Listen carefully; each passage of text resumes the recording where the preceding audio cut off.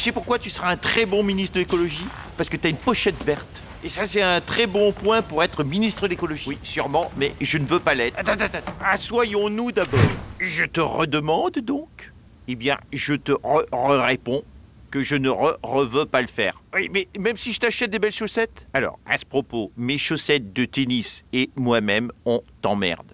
Tu ne veux pas être ministre de l'écologie, donc? Ah si, ministre, c'est mon rêve, mais pas dans ton gouvernement. Le problème, c'est toi, en fait.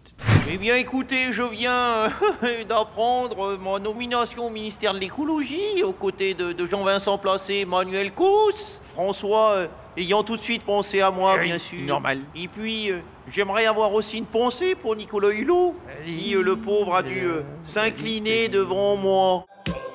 Spécial dédicace à Ségolène Royal, ministre de l'écologie. Ségolène Royal, ministre de l'écologie, et du cannabis. Elle va légaliser la marijuana, la bonne herbe et la ganja.